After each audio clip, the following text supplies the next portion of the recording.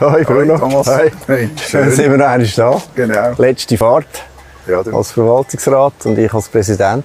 schon ein bisschen komisch Ja, irgendwie. ja, sehr komisch. Aber schön, dass wir da sind, weil da sind wir ja genau da.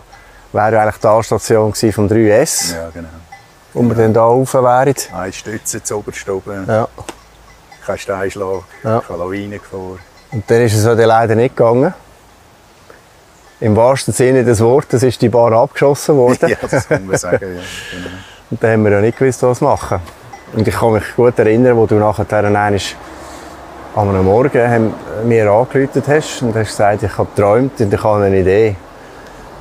Dann baut einfach eine Standseilbahn da drauf. Und wenn du jetzt das so siehst, da, oder, mit der, wenn du das alles jetzt wieder wegdenkst, dann nachher kommt kein Mensch auf die Idee, dass man da eine Standseilbahn bauen kann. Aber du hast sie trotzdem gehabt. Ich bin dann auch einmal drüber abgeseilt. Das ist auch noch so.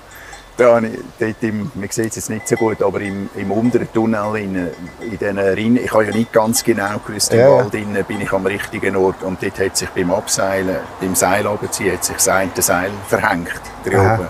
Da habe ich gedacht, oh, vertell ich noch mal, oder? Morgen steht im Blick, der Liftfahrt ist irgendwie hängen geblieben. Abgestürzt. Jetzt muss irgendwie daraus rauskommen. Und das hat dann auch funktioniert, ja.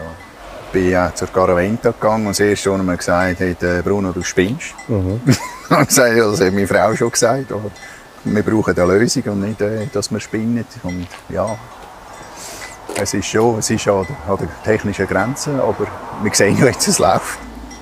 Ja, also, Ja. dann fahren wir noch einmal, oder? Gehen wir noch einmal. Genau, geniessen wir die Fahrt. Grüßen wir die Fahrt, heute sowieso.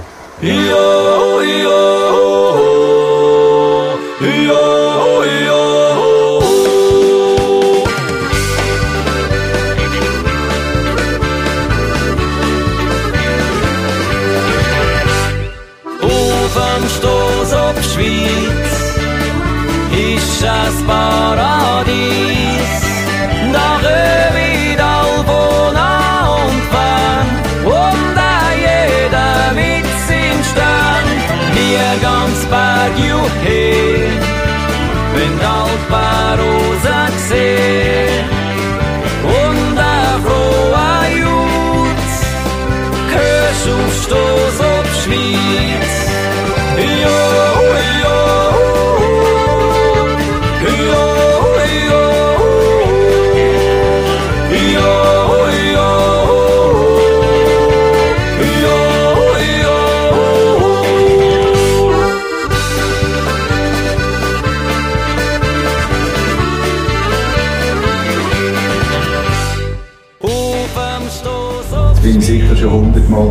es ist jedes Mal der andere. Es ist jedes Mal irgendwie, es ist immer speziell. Ja, das, ich meine, das ist natürlich schon jetzt schon ein Wahnsinnserlebnis. Oder? Ja. Für sehr viele Leute ist das schon ein erster Höhepunkt, wenn sie da Verstoß aufkommen. So ist es auch, weißt, die Fotos, die immer gemacht werden, das die Miete wird immer gemacht, das E wird immer... Schau mal daneben. Ja, es ist fast mystisch jetzt Ja. auch wieder, das Morgenäffeli. Ja, schön. Manchmal haben wir Glück und der ist dann als Gemsi ganz das 5, 6 Meter neben dem Trasse. Es ist eher am Morgen oder am Abend. Jetzt, oder, jetzt hast du das Gefühl, schon, es sei also schon recht steil. Ja. Und dabei ist es ja noch nichts.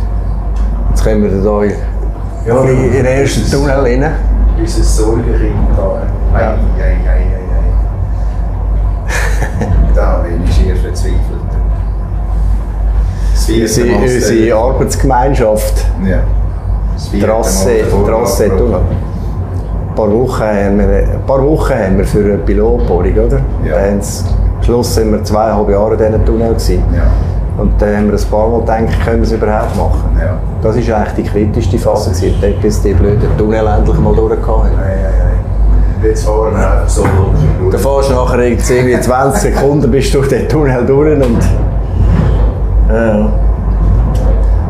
Weißt du, was mir da auch immer in den Sinn kommt? Die allererste Fahrt mit der Frau Bundespräsidentin Ja. Leuthard damals.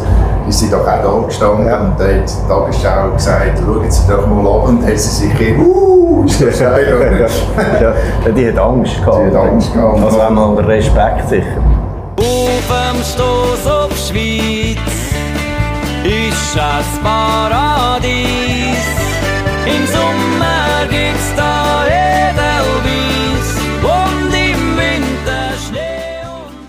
es ist doch das Gerücht umgegangen, die Station sei jetzt kurz vor. Ja, ja, genau. Also, Ja. gar keinen Hat keinen Platz. Platz. Ja, der Stammtisch. Ja, das können wir dass die Platz Ja, komischerweise fahren sie bis rein. Komischerweise hat sie Platz, ja. So, wären wir da. Gehen wir raus.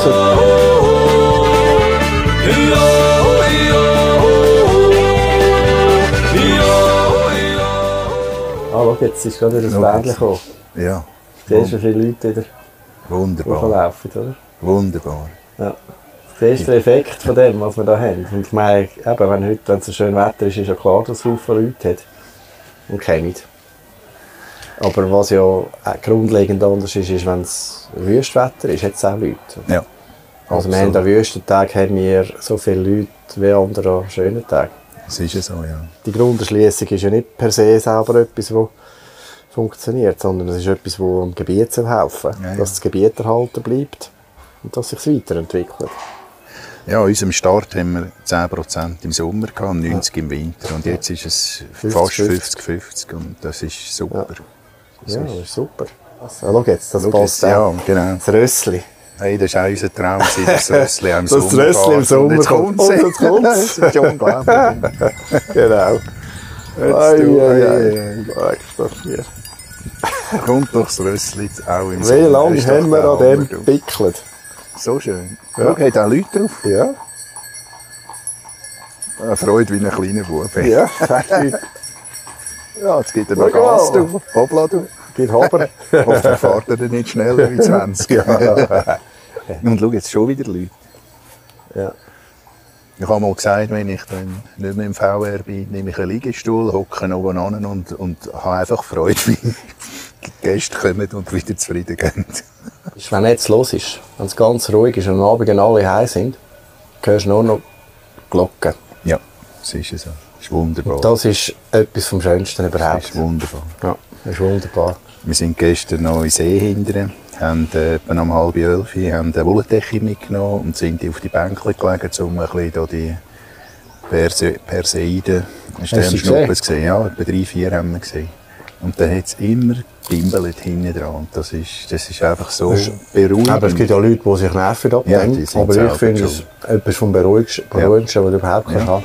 und gar Menge Fee fliegt die Pulverschnee und der Schatten Jetzt mache ich mal ein Selfie, das letzte Selfie. Schau, ich kann. Warte. Ja. Ja. Das im Griff. Mit dem I Warte, jetzt müssen wir. Muss ich noch kehren. Das ist einfach da. Wie, wie zwei Chinesen.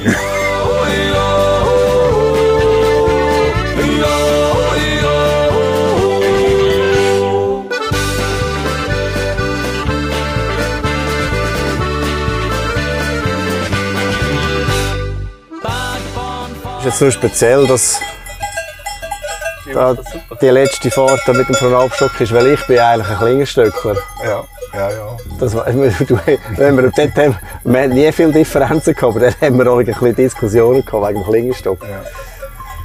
Und das ist ja der, das traurige Ereignis jetzt da genau bei der genau Stütze Mast, 7, oder? Stütze 7 ist wo der der Unfall schwere passiert. Unfall, genau.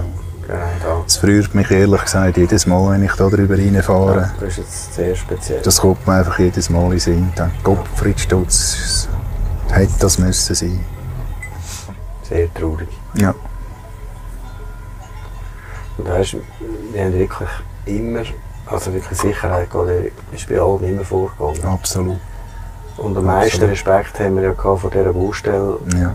vor der Grunderschliessung, oder? Weil dort alle immer müssen angebunden sein und Steinschlag steil, und, ja, ja. alles Wüste.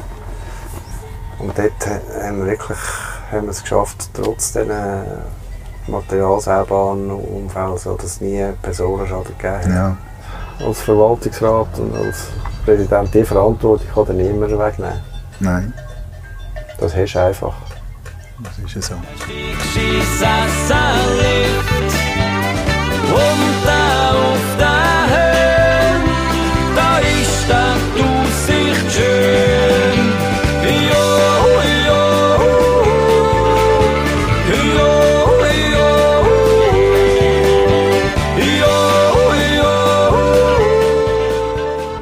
So, jetzt sind wir zuoberst. Ja, kannst du sagen. Nicht ganz Ei, ei, oberst. ei. Kleinstock ist ein bisschen höher. Ein bisschen, ein paar Ja. Meter. Ja, mein Lieblings. 12 Meter. Aber da ist natürlich äh, die Aussicht. Kannst nicht schlagen. ist einfach Hammer. Kannst nicht schlagen. ist einfach Hammer. Steine, wo ich aufgewachsen bin. Ja, und dort ist, siehst du auf Koma, aber dort bin ich aufgewachsen. Ja, ich auch. Ich bin in Zug geboren und sechs Jahre zu Kam gegangen bin zu Kamichinski. Das habe ich gar nicht gewusst. Weißt Gibt es ja nicht. du? Ja. Da sind wir am Höhepunkt von der Strassbahnen. Auf, auf einer guten Höhe, Eine gute denke ich. Höhe, ja. Wir haben viel erreicht. Viel erreicht. Und, aber es gibt immer etwas zu tun und der IBO und Konsortium werden auch noch etwas zu tun haben. Ja, ja. Können wir dann mit Das ist Norddirektion und als Aktionär zwischendurch Und ein dann Frage stellen. Genau, Nein, nein, wir stellen da- dann die Fragen, die die Aktionäre sich bis jetzt nicht trauen, Genau. zu fragen. Die stellen wir dann. Nein, aber ich denke, wir sind ja nicht wie ehemalige Bundesräte, die immer noch etwas sagen, sondern wir werden ruhig sein Ja, ja. und sie unterstützen. Aber äh, helfen. Wir wissen ja, dass es nicht immer einfach ist. nein. Aber was mich am meisten freut, ist neben weißt, mit all diesen Anlagen und alles, was wir hier hergebaut haben, dass wir ein Unternehmen haben, das funktioniert. Ja, nein, ist super. Super, ja. Und, Selbstständiges Unternehmen. und schier 200 Leute unter Vertrag, alles zusammenzählt. Ja. Oder über Unglaublich. 200. Unglaublich. Ja, unglaublich. Ist Nein, ist eine äh, schöne- Schön, das ist eine schöne Geschichte. Und das, das freut mich eigentlich am meisten, dass das Unternehmen funktioniert. Und wenn das Wetter ist so wie heute. So, Ja, so, das ist ja herrlich. Du. An unserem Tag Wetter so so schön äh, Wetter. Ja. Die Leute und zufriedene Gesichter überall, das macht Freude. Ja. Das macht Ja. auch sinnig Freude. ja, ja, haben wir schon gut gemacht, Bruno. Yo, yo, yo, yo.